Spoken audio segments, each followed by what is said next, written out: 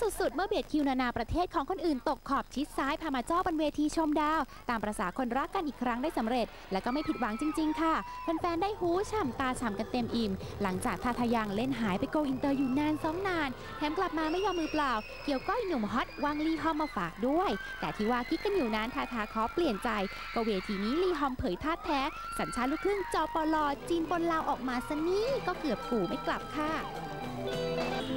คือฮางงเลยเขาเก่งมากจริงๆเขาเป็นคนมีพรสวรรค์แต่ไม่ได้คิดว่าเมื่อกี้นี้คือเขาเล่นคอร์ดบ้านเราเลยอะมีเซอร์ก็ส่วนเหมือนกันจนไวเลตรุด รู้สึกเป็นเทปที่อบอุ่นมากที่สุดวันนี้แฟนเพลงมาให้กำลังใจเยอะทั้งสองลี่หอมเองแล้วก็แฟนเพลงของทาทาเองด้วย It's amazing, um,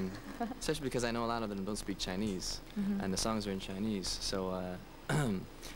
they're they're getting to learn Chinese through songs. And this new album has only been out for a week,